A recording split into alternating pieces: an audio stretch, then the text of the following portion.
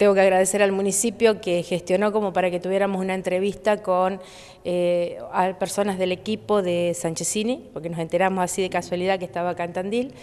Y bueno, mm, este, vinieron dos personas, una la subdirectora de, mm, gestión administrativa, este, que es Florencia Castro, que es tandilense, pero bueno, está viviendo en otro lado, y el director eh, provincial de, de infraestructura, de gestión administrativa, ya van a hablar administrativa.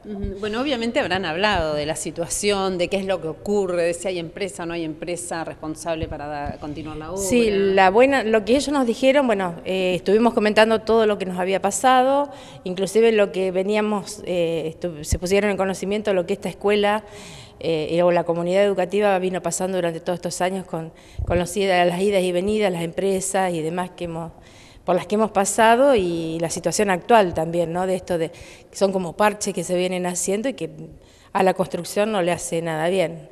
Este, ahí nos comunicaron que bueno, que hoy lunes a las 10 de la mañana iban a hacer una apertura de sobres eh, donde bueno, eh, iban a ver qué empresas habían licitado. Nosotros hasta ahora no teníamos conocimiento que se estuviera licitando la obra. Pero para esto había una empresa en realidad, o por lo menos creíamos que había una empresa. Sí, había una empresa que estaba con la parte de limpieza, nos dijeron, que era como una empresa que, que habían contratado para que este, hiciera la limpieza de obra. No para la obra. No para la obra, para la obra habían salido los pliegos, eh, que lo habían, no sabían cuántas empresas habían comprado los pliegos, y hoy, hoy era la apertura de sobre. Dos empresas, dos mm, propuestas. Me dijeron que, que hubo dos propuestas este, de dos, dos empresas, Azurit o Asirit, y Asiluk, Asiluk, creo, que es, este, y otra de las empresas, eh, Tarnowski, que ya la habíamos nombrado nosotros en otro momento. Eh, bueno, de eso... Respecto de, eh, a ver, el plan de obra, 120 días. Son, es una propuesta, sí, eh, la, digamos el monto del presupuesto de obra que ellos calculaban son 14 millones 950 mil pesos más o menos. ¿Se ha incrementado? Y se ha incrementado de diciembre ahora, supongo, con toda la, la inflación y demás. El porcentaje de obra es siempre el mismo, el que está faltando.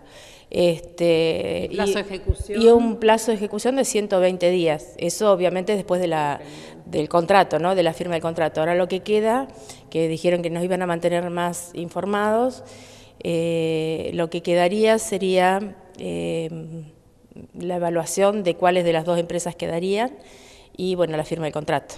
¿y cuánto, cuánto tiempo se da para evaluar cuál de las empresas? Dijeron que lo iban a hacer lo más pronto posible, porque esto salía como una, este, una contratación de emergencia, ah. así que iban a tratar de acelerar los, los plazos.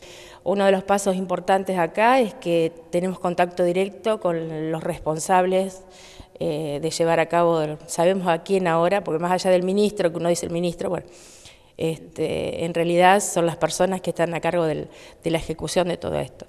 Y bueno, una de ellas que es Florencia, eh, Florencia Castro, que bueno, ella dice, sí, conozco lo que es la obra, conozco lo que ha pasado y bueno, eso también es un aliciente. Bueno, ojalá entonces pronto tengamos el nombre de la empresa y pronto la empresa trabajando. Y esperemos y tengamos los martillos y tengamos movimiento en la obra, que se escuche si haya ruido para estudiar, pero no interesa, y que pronto estemos ya de toda la escuela acá junta.